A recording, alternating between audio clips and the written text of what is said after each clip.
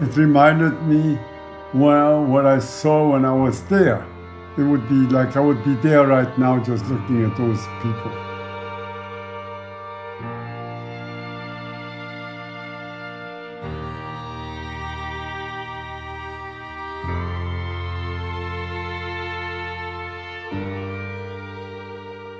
We arrived uh,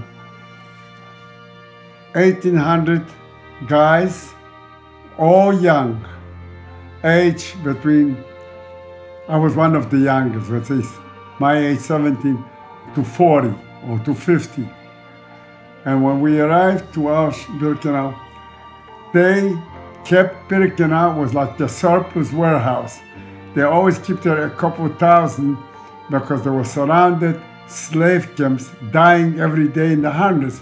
So they would be replaced, just like you replaced in a, in a warehouse material.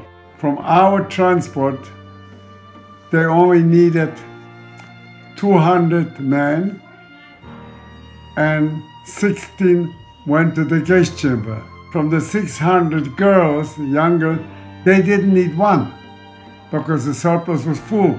So they all went to the gas chamber.